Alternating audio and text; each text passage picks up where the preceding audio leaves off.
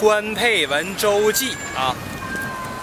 我现在在捷克布拉格的这个地方，关佩文周记。我现在在捷克的首都布拉格，我身后呢就是它的这个高堡，也就是布拉格的发源地。现在那个地方已经焚毁了啊，只剩下一些呃这个城，这个叫 church，就是这个教堂和一些墓地啊还在那里。城堡已经没了。本来我在这旅游啊，但是中这个我在中午的时候呢回去了一趟，回一趟之后呢，我就看了会儿《锵锵三人行》，正好他有一个节目推荐，我就点了一下。点了一下之后，这一期讲的是什么呢？是叫曹云金和郭德纲骂起来了啊。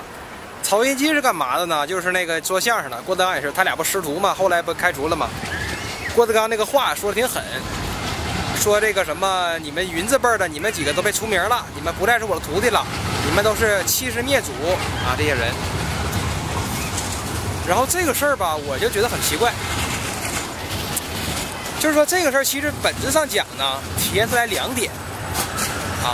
这个那边有一个火车，声音比较吵，我现在换一个比较安静的地方啊。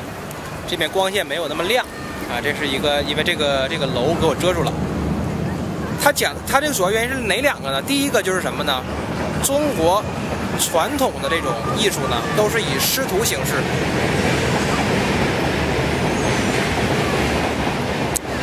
这个火车声太大了。